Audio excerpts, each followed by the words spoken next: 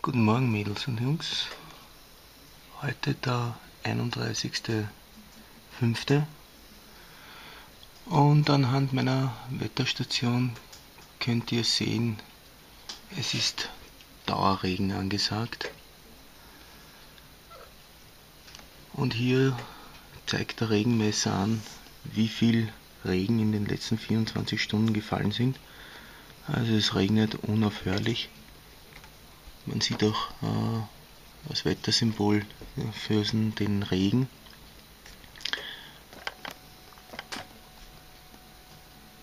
Und wir hatten 12 mm Niederschlag innerhalb dieser Woche.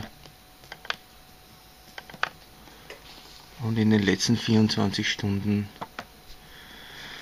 fast 27 mm und es regnet noch immer und es hört nicht auf. Die zentrale Wetterstation hat gemeldet, dass es bis Sonntag durchregnen soll und sie hat natürlich auch Unwetterwarnung und Überschwemmungswarnung herausgegeben. Das heißt, es ist natürlich möglich bei den Regenmengen, die zurzeit runterfallen, dass es zu Überschwemmungen kommen kann und man soll schon Vorsorge treffen da ja der Regen bis Sonntag nicht aufhört. Und hier sieht man schon an der Wiese, dass es der Boden gar nicht mehr aufnehmen kann. Also der Regen wird vom Boden gar nicht mehr aufgenommen, sondern der Regen fließt eigentlich nur mehr auf der Wiese Oberfläche entlang und ab.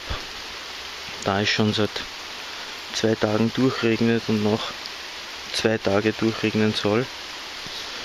Und es gibt eben die Wetterwarnung, dass bis zu 200 mm Regen erwartet werden, starker Regen.